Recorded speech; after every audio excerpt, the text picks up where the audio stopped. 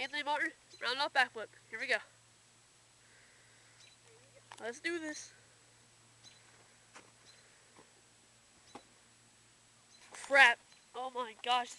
What the?